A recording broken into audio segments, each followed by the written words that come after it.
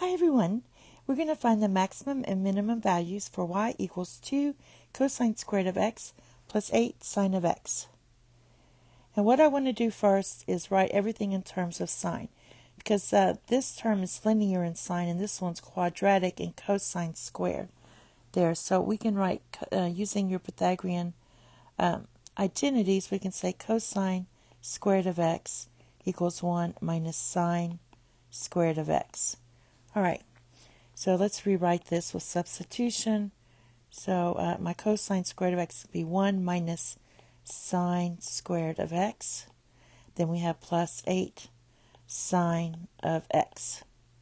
All right, simplifying this, we get 2 minus 2 sine squared of x plus 8 sine of x.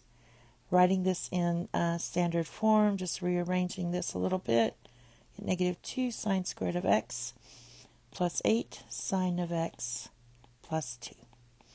All right, now we have to find the minimum and maximum values. So now that I have everything in terms of sine, I'm going to let sine of x equal, let's call it a big X. So basically that means our big X here is going to be in between the range. Remember your maximum and minimum is your range is going to be in between uh, negative 1 and 1. This is your max. This one is your min. So max and min. All right. So let's, uh, this is going to be hard to factor. So what I'm going to do is um, write my y, subtract this 2 here.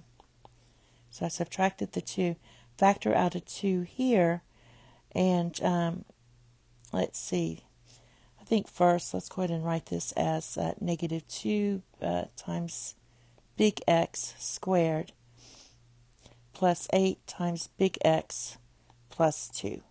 So I substituted in my X here. All right, now let's do this. All right, so basically we have negative 2 if you factor it out, and you're going to get um, big X squared minus 4X. Now I'm going to complete the square. So when you complete the square here, you take half of the 4 and square it. So that's going to be plus 4. Uh, and then since we're um, uh, this is equal to negative 8, you have to subtract negative 8 on the other side too. You can't just arbitrarily uh, add numbers there. So now the equations are balanced. Uh, this right here is negative 10. So now I'm going to write this as y equals negative 2. I have a perfect square trinomial. So this is going to be big X minus, you take half of the 4 is 2 squared, and then I'm going to add 10 to both sides. So it's going to be plus 10. So this is my new equation. All right, let's write that down. And we're going to get um, uh, y equals negative 2. Then we had that big X. Remember, the big X was equal to the sine of little x. So this is going to be minus 2 squared plus 10. Also recall that my big X uh, is in between negative 1 and 1. So your maximum value is at 1. So let's do our maximum value. That would be substituting in 1. So if you substitute in 1, you're going to get negative 2 times uh, negative 1 squared plus 10. That's going to give you 8. So 8 is your maximum.